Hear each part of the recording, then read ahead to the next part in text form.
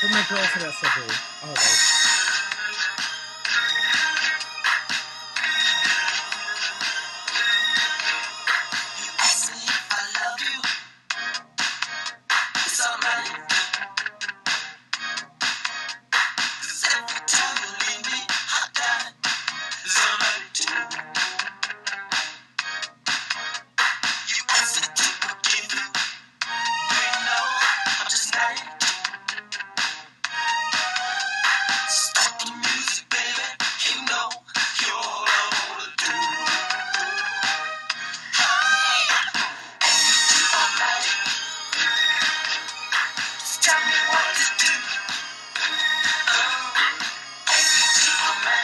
joke. That's the joke. That's the joke right there.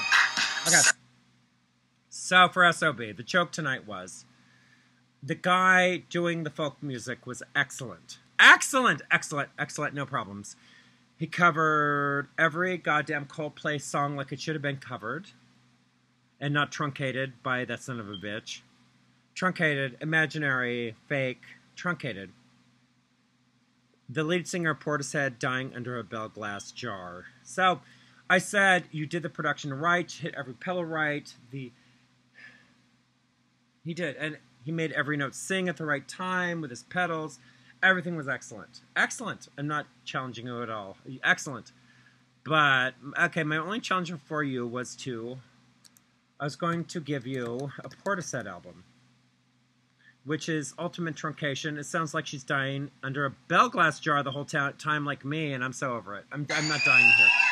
So, Portishead was the best one. Oh, there we go. There we go. Portishead for you, baby. So I was going to give you a Portishead album.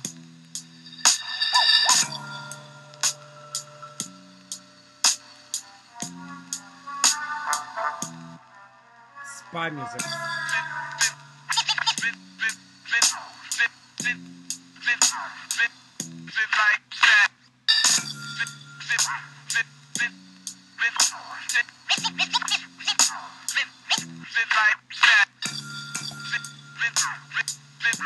So that was my challenge to him. Anyways, I've, I've been kicked out of Blonzies for telling the guy, there's a bartender, all the women love me. They fill out the pants quite nicely.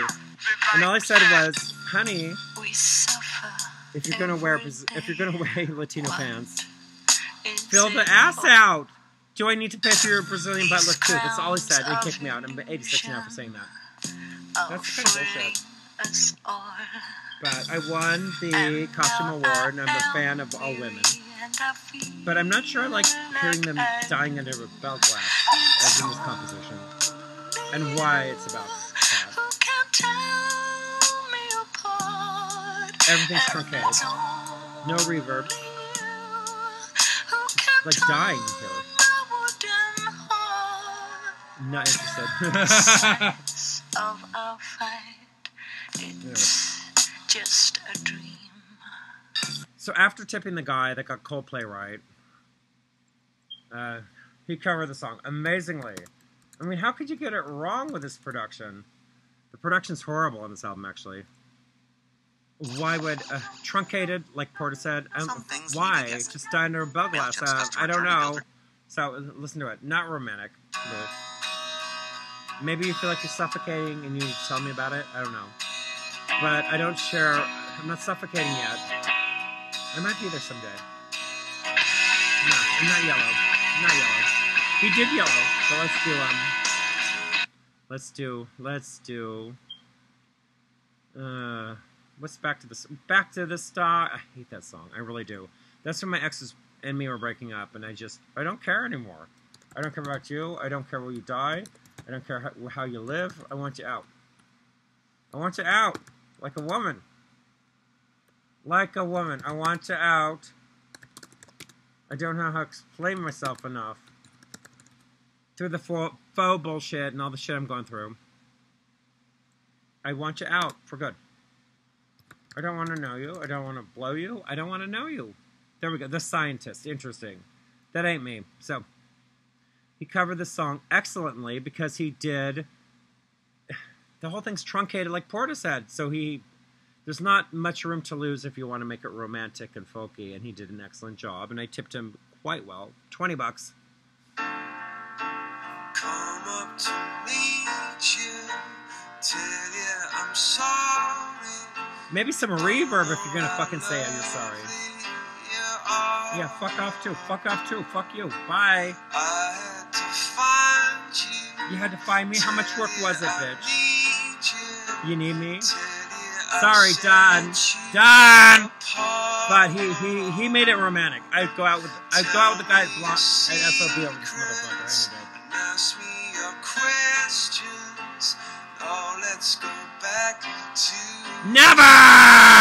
Okay, so my argumentation was not with the guy that was singing. He made it romantic and very clever and pleasurable. And I did never argued, and I love Blonzies, and I'm just gonna tell the truth. But um, my issue with this song is um, if you're dealing with a woman who does not love you anymore, she does not want to go back to the start with you. Do you understand, Coldplay? Bye. You're done. Okay? She wants to move on. I do too. She wants to move on. You got it? Anyways, so it's kind of done with that. So I was kind of making fun of it, and it was not in an inappropriate way. I said, the women that I won the costume award yesterday, and I, I consider myself a warlock for witches. I'm not a witch, but I'm maybe a warlock. Um, not into war, but maybe a maybe a a witchy witchy poo male. So I walk back in, and I have the two girl girls dressed as witches that didn't win the costume contest. I don't care about that shit. God damn it, didn't, didn't win enough for how much I like salivated on myself. Anyways, they're back in. They're they're they're they work their butts off. I know I know what it feels like, and they're a little frustrated. Um, and my favorite is the one that looks like Miranda Richardson. So, and I love the girl that God she can illustrate. I love all of them. I love Julie too. Anyway, so I went back in, and I said, wouldn't it be great if we could do folk music on one end, and do a fucking bullshit band on the other, where I'm the producer, and we just change the people singing and doing it every night, and we do the whole happenstance of production using dual drum machines and whatever you want. If you want Skinny Puppy, I can do it. If you want Siouxsie and the Banshees, I know how to produce it. If you want it truncated like goddamn Coldplay and Portishead, oh, we could so do it. And we pit them against a folk music folk musician hitting everything romantically, and we just like fucking compete in a distorted way. But the lead singer is not me. The people playing the synthesizers really don't know how to play them, and so we're just like we're just like feeding a bunch of bullshit through synthetic things, and I, I love it, and I love Prince. I love, and I think he actually did it. But my thing with Prince was he talks about not knowing how to play an instrument, and yet when you listen to this, so in fact, I said let's compete against this.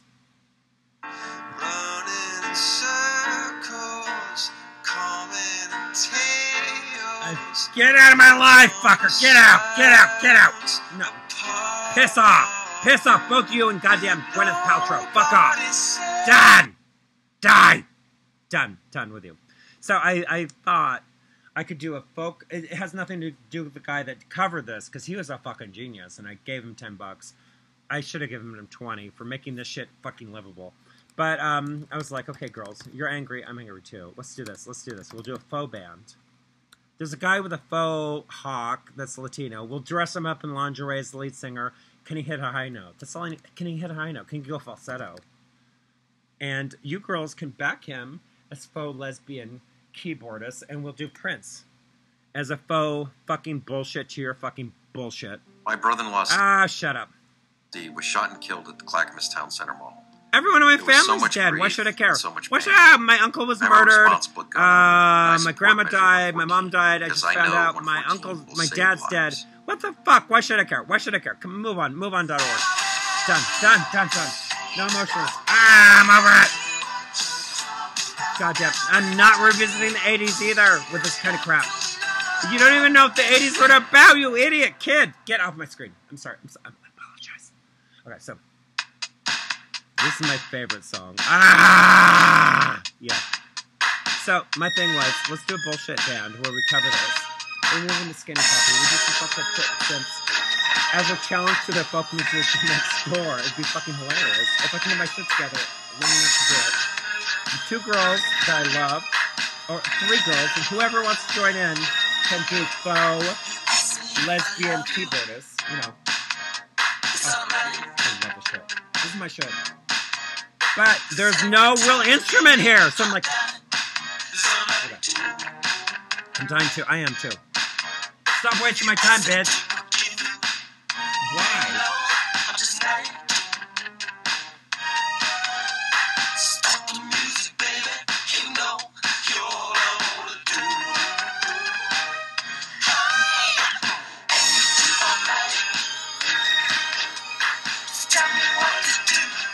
I gotta love this.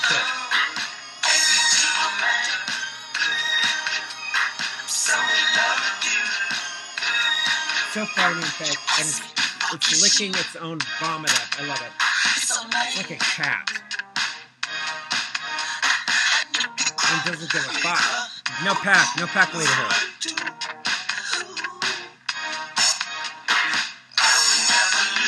I wouldn't. I never left anybody. Have I? No. Don't convict me of that. Anyway, so I did that. And the girls were kind of like, okay, whatever. They're they're pissed. They they had too much work. There there was some a lot of work, and I think there's some frustration, not from me or anybody else. And I love those girls dearly. So I went out. I'm done with everybody. Okay, tipped him ten bucks. There was a Latino. Okay, the, uh, before that there was a Latino that um, looked Mexican, and he said he was, he was Argentinian. And so I challenged him, and I said, "I'm so interested in moving to Uruguay. It's right next door. It's where a lot of expats are going. What do you say about that?" He didn't. He didn't know Uruguay. Mexican, Mexican, Mexican, with a yeah, whatever. Enjoy your bullshit while it lasts, but don't bullshit. me- Don't pull the bullshit the bullshitter. So I'm like a, a lot of bullshit going on here. So I moved out. The people working at, at SOB are excellent, and I have no no problem with the clientele. But I'm, ki- kind of like, if somebody's full of shit, I'm just gonna leave. So I went outside. There's a heavy blonde girl, and she, the, the, the, the, there's this nice Mercedes. I'm not necessarily impressed. Anyways, she said, "Sit down." She had like a blanket. She's really kind to me, and I sat down. And I've never, I'm never victimized at SOB ever, but I'm just questioning. I'm always interested in people's motives, and the only, I have no criticism for the food carts. They're excellent. I did say the new hamburger is excellent, too salty. He didn't like that so much, but I'm I don't want to get 86 again, okay? But I'm usually right on target with what I'm thinking, what I'm saying. So I wanted to do a full faux 80s group where I'm producer, and, and it's acknowledged that it's totally fake. The whole thing's fake. I'm just producing shit that people want to hear, and it's just fucking bullshit. Next to a folk musi- musician, I think that would fucking be genius. Anyways, so I went out, sat down on a blanket. Wet. Nice girl gave me the blanket, and then I went over the car, and she's like hooting it up and stuff, and I was talking about. So I told them my idea, which was setting up Prince like this, and everybody laughed at that.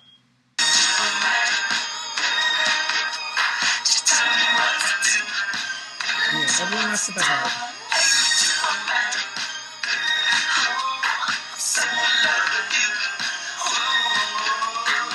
Then out of nowhere, I got the courage. I'm a little drunk, and I said, um, "What if, um, what if Billie Holiday covered John Lennon?" And this is where I got nervous because I can't sing it live, and I need to up pitch my shit. And then I just said, I just wanted somebody to get my drift where I'm going. My voice is horrible. My ass is saggy. So you know, whatever. It's just it's disappointments in my own life, and I'm not. I'm not delirious. If you tell me my ass is great, you are a disgusting human being. It's not that bad. It's just it's fallen. It's a fallen hero. Anyway, so um, I did um.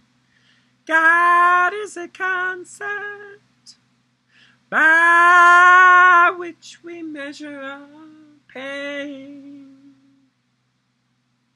God is a concept by which we measure our pain. And if you ain't got nothing, baby, I'll say it again. Okay, it sounds like shit, and did it did when I said it, but there was a black, big black guy in the thing, and he was laughing at everything, and he almost dropped his hamburger because he knows it sounds like shit, but he knows I'm onto something there. And it's not just here. It's not here. It's it's definitely in here. Anyways, God bless all you guys. Love ya. And I think I I would like to see serious competition where I play like faux synth music and how phony it is against folk music with the real deal. And uh, we can we can do that forever. I love it. But um, God bless you guys.